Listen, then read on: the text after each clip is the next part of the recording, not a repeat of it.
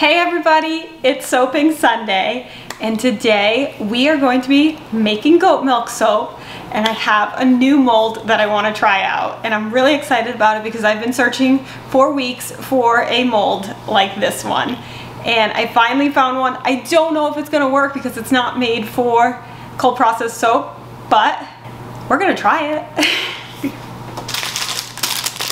Look at this. I have been searching for little goats in a mold that I could make custom to look like my little goats that I have here on the farm. I have seven Nigerian dwarf goats and I want to be able to custom design each individual little goat to put inside of my soap and this is the only mold that I could find that I liked that could possibly work. The only issue that I'm seeing with this is that it's very thin. And that was an issue that I ran into with the little butterfly mold with it being so thin the soap was cracking when I tried to remove it. I got around that by putting a thick pad of soap batter on top and then I individually carve out each butterfly which is what I have to do with these that we made last week.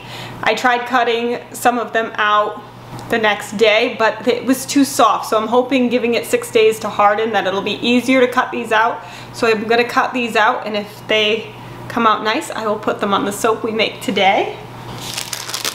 But hopefully I can customize these to look like my goats and I can put a thick pad of soap batter on top and hopefully be able to not only unmold them without them cracking, the next day, but also be able to cut around these tiny little details. These legs are really tiny, so I don't know that they'll be able to come out of the mold without cracking, and I don't know that I'll be able to cut around them easily. So we're gonna try it out. It's gonna be a little soap experiment. I did try out the soap that I made last week and it's really nice. So adding the salt to it didn't affect the lather or the smell or make any changes that are noticeable. It still lathers nice, it smells great, and it's a nice bar of soap. So I think that's gonna be my trick moving forward is to use a teaspoon of salt per pound of soap to help it unmold and harden up quicker and just keep that cover off, unmold it the next day. Hopefully, if we do it all the same, we'll get the same great results like we did last week. So that's the goal for today.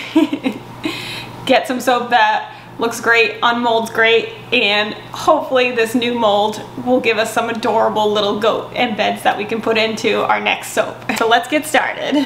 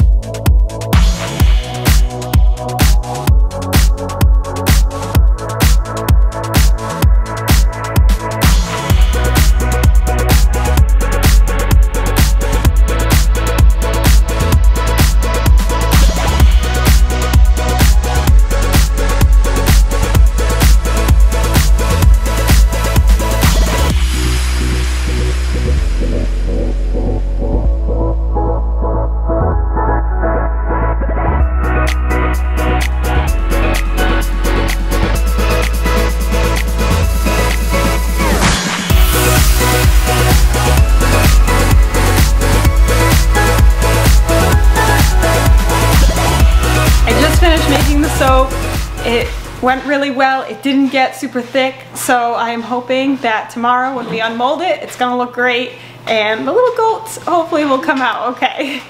So I'll see you tomorrow. Okay, it is the next day and I am so excited to find out if this soap experiment worked. I am going to unmold the little goats first because that is what I'm most excited about and I really hope they actually come out looking like little goats. so. Okay. So, so far there's no cracking on the top here. So far there's no cracking on the top. So let's hope that we can unmold this easily without any cracking.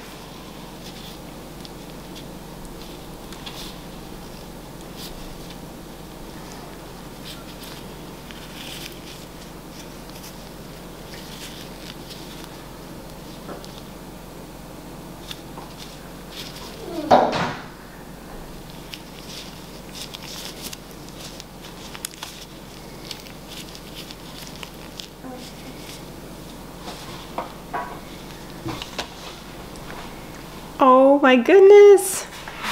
They're so cute. They're little goats. They look really cute. They look like Fancy Nancy and Amelia Bedelia's little goat babies. They're so cute. Little buckskin goats. So overall, I'm really happy with how they came out.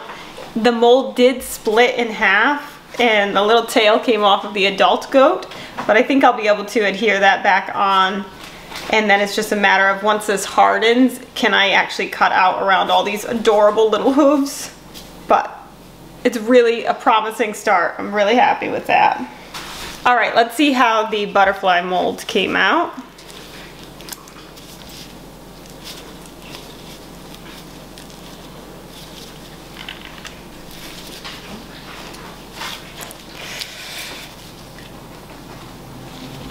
So these are some charcoal butterflies.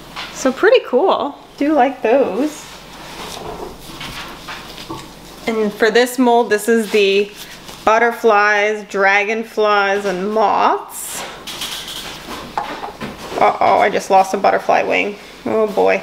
I'm gonna try unmolding it down here so that it is a little bit more stable.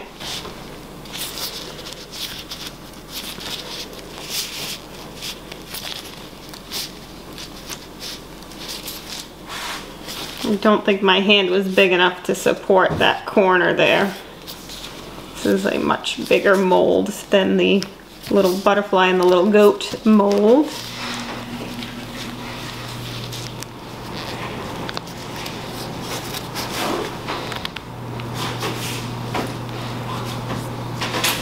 So I did lose this butterfly corner of the wing and this one cracked a little bit. But I gotta say, the charcoal butterfly with the cocoa powder interior is pretty cool looking. I had put the extra leftover soap in my sunflower mold, so let's just see what a charcoal sunflower looks like. Wow, that is gorgeous.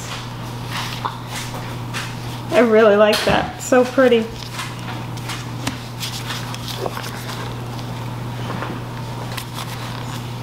And then this was a little bit of extra that I had that had a little bit of spirulina, so it's almost got a light greenish tint to it. But it's only a half size, but still very pretty.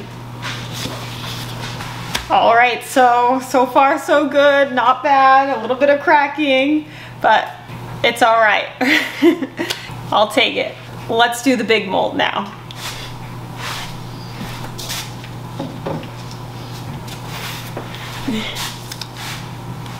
So far, so good. I don't see any cracking.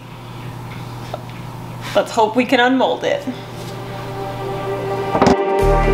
Just like the street lights lit this Like a fire in a blaze, gotta burn it down Can't be afraid to leave this out We got this far, don't know how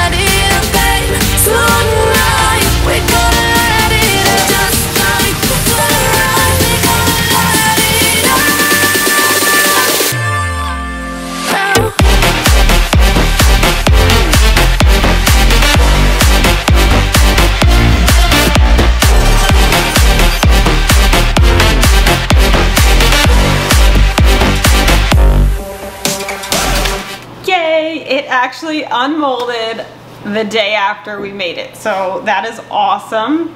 I am happy with how the sides came out nice and smooth, nice and shiny, and the backs came out good. I had issues with this here.